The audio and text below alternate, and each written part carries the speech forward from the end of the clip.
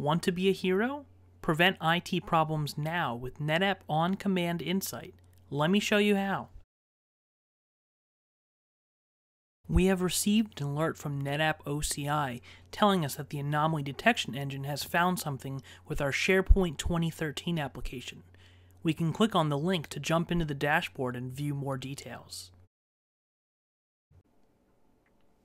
We're now brought to the dashboard of our application, and you can see here that for the SharePoint 2013 environment, OCI has automatically mapped in all the different resources associated with this environment. For instance, we have compute resources, hypervisors, storage nodes, volumes, storage pools, so all the different components associated with an application. We'll also see the score here, and this is the anomaly score that OCI had alerted us on when that email we received. So here is a 31, meaning it has detected some behavior that is outside the norm.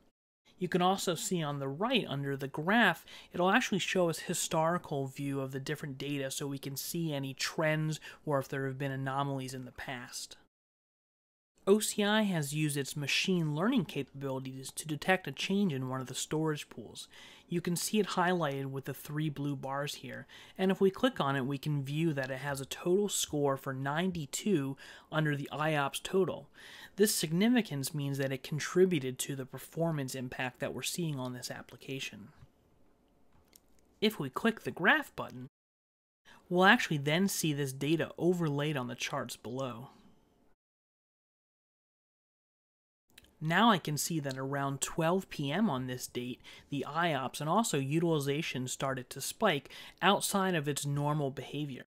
This indicates a potential problem and is something I'll want to investigate further. We can then click in on the actual name of the storage pool to bring us to view some more details there. You can see now we're looking at a single storage pool, so in this case it's an aggregate volume, and we can see information like the capacity, utilization, IOPS, and throughput. And then on the graphs below, you can again see that data that we've charted in for IOPS and utilization, and that's really where that spike was. So now we're seeing in a lot of detail that's when the application started spiking, and when OCI also sent us that alert because it meant one of these components is potentially misbehaving. You can see on the right, we also have correlated resources. So for instance, we have one resource here with a 49% correlation. And these are really helpful for troubleshooting and narrowing down which components to look at next because it's telling us with what degree of confidence are other resources contributing to the performance counters and the performance problems here. And so we know what to go look at next. This was just a quick example of how OCI can proactively alert you about application performance before your users ever report a problem, and then aid you in troubleshooting by presenting you with an application component level view to view the entire environment, and then quickly drill down to the individual components which may be having performance issues and let you troubleshoot further.